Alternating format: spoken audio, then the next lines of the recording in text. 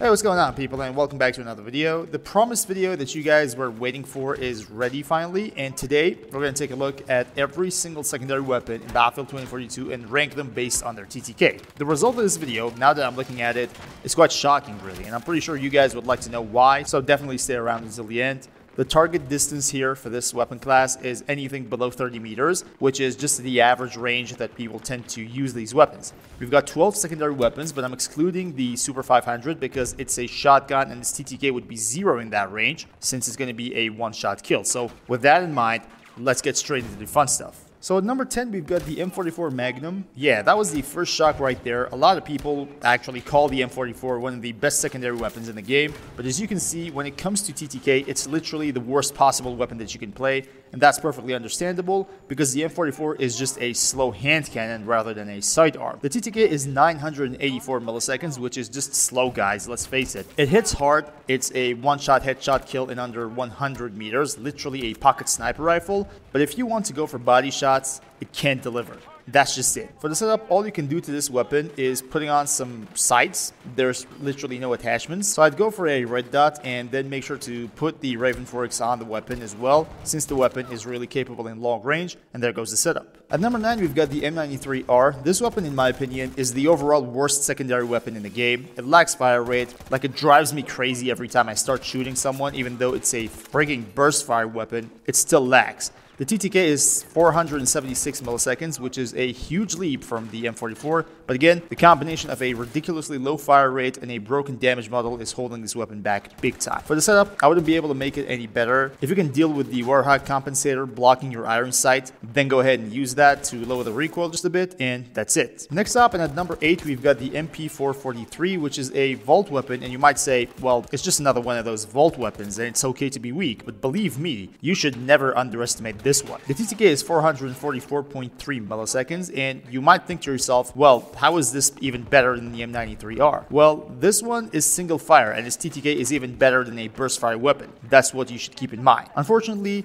the MP443 is a vault weapon after all, and in terms of attachments, there's nothing special you can use. If you think getting your iron sight blocked just a bit is fine, then go ahead and use it, and there's no more option for this weapon. And here's the setup. At number 7, we've got the PF51. For this weapon and this weapon only, we have a full auto TTK, which is 423.3 milliseconds, and the reason for that is because, well, this weapon is a full auto submachine gun, really. You can't even call it a machine pistol. The thing literally uses the same magazine as the P90 with 50 bullets per mag. Every single time you switch to your secondary, you have an SMG, and this is especially good for snipers and DMR players because they really lack in close range. Anyway, for the setup, I'd go with a Warhawk compensator for some recoil control, because recoil can sometimes suck. Then go for LS1 laser sights so you can have some more hipfire accuracy as well. For ammo, the best TTK is provided by the subsonic rounds. They also give you better damage per distance, so they should be your priority. Then use standard issue. Lastly, a red dot sight of choice should be fine, and there goes the setup. And before I forget, if you guys are watching this video and you enjoy it, if you'd like to see more guys like this one, news around Battlefield franchise and other FPS games, this is definitely the place for you. So do make sure to hit the like button and also subscribe to the channel so you won't miss out on the future videos. At number six, you might not like to hear this, but we've got the G57. Yes, one of the weapons that people consider as top 3 is not even in the top 5 when it comes to TTK. This video is full of surprises, guys, and there's still more to come. The TTK for the G57 is 416 milliseconds, and that's burst fire TTK. This weapon's superpower is exactly this, having the ability to go burst fire, and I have to be honest, the firepower is perfect. It's just not the fastest killing secondary weapon out there, and that's fine. It doesn't mean it's bad or anything, it's just the ranking. For the setup, I always go with the Arcam Tactical Muzzle Brake. I just think it works better than the Champion Muzzle Brake. If you think the recoil hurts, maybe go for the Warhawk Compensator as well. It's on you really, but my choice is Arcam. Then go for the LS1 Laser Sight for some more hipfire accuracy. For ammo, Close Combat Drum, Close Combat Extended, and then Subsonic should be fine. And all you need now is a red dot sight, so enjoy the setup. At number 5, you've got the L9CZ. This weapon is the last pistol that will ever make its way to Battlefield 2042, and considering that, there is still quite a lot of weapons better than this one in terms of TTK. That number is 401 milliseconds, which isn't much, but there's one more important thing that you guys need to know about this pistol. It's very accurate, and it has a high rate of fire, which means you can just spam the enemy with those close combat rounds. For the setup, I'd go for Tactical Compensator for some more accuracy. The recoil is great and will remain great even with this attachment on. Then go for the LS1 laser sight to further that hipfire accuracy accuracy. For ammo, close combat and subsonic are exactly the same in terms of TTK.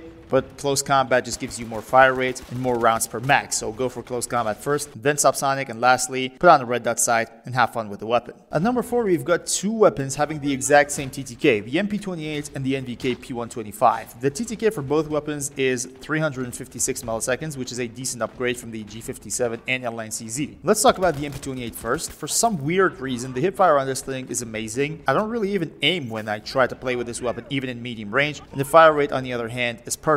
All that makes it a reliable secondary for both close and medium range, and for the setup, I'd like to run a Warhawk compensator with a laser sight for better hipfire accuracy. For ammo, go for standard issue drum, then standard extended, and then subsonic. And for weapon sights, I prefer a Fusion Holo and a TV2X for medium range, and there goes the setup. Now the NVK P125, this thing is like the MP28, but twice as good. Fast fire rate, I would say little to no recoil, insane hipfire accuracy, and I mean in freaking sane. Unbelievable. There is really nothing bad I can think of about this weapon. And you even get a burst fire mode as well. I don't recommend using it, however, since the TTK of the single fire is way better, and that's 356 milliseconds as mentioned before. For the setup, since you don't really need to be worried about accuracy in a secondary weapon, because well, the effective range is already short, I'd go with Warhawk Compensator to lower that recoil, then LS1 laser sight to make the hipfire even better. The best TTK is provided by standard rounds, so standard issue first, and then subsonic rounds should do the trick. Now all you need to do is putting on a red dot sight, and this thing is ready to kick some ass. At number 3, here's where things get interesting. We've got the M1911. Yes, a vault weapon from a century ago is still considered top 3 in Battlefield 2042. I never thought it would make it this far. I mean, I knew it's a pretty strong and underrated weapon, but top 3, it was really a surprise for me. The only personal issue I have with this thing is the hipfire accuracy, which is just ridiculously bad, but if you manage to aim down sights with it, then you're in business. Oh, and the TTK is 333 milliseconds, by the way. For the setup, well, there is no such thing. You literally don't have a choice when it comes to attachments. Just remember to equip the extended mag, and that's it. At number 2, we've got yet another surprise, and guess what? It's the almighty MP412 Rex, the Russian revolver that somehow made its way from BF3 to BF4 and from there all the way to Battlefield 2042 to be still, despite being relatively old, the second best sidearm in the game and there should be literally no one denying how capable this weapon really is. The TTK is 222 milliseconds and it's got high damage, one shot headshot in under 50 meters, fire rate is on point, and what else would someone want? For the setup, it's just the same as M1911 and you don't get to choose a thing, so just completely forget about it. And finally at number 1, the most anticipated number one of all time, I guess, the BFP-50, also known as the Deagle. Well, it's like a Magnum 44 turned into a pistol, crazy fire rate, big rounds, big recoil, and more importantly, high damage. I mean, the package isn't even lacking. It just gives you the best you can expect to get from a sidearm, and the TTK is 201 milliseconds. For the setup, I'd go with the LS1 laser sight for better hipfire accuracy. Then there's ammo, and you should be picking the close combat first, and then the high power, because, well, close combat gives you a faster TTK. Lastly, all you need is a red dot sight and have fun with the most powerful secondary weapon in the game. So here we are. We've ranked all the secondary weapons in Battlefield 2042 based on their TTK. For some reason, you guys were really waiting for this one, and it turns out that the whole ranking was quite unexpected, to say the least. Maybe I do the same for tactical weapons, but that might as well be impossible because we've got shotguns there and like sniper rifles as well, which makes it impossible to get a range where all the weapons are treated equally. I don't know. We'll have to wait and see. But thanks for watching, and until next time, guys, stay cool.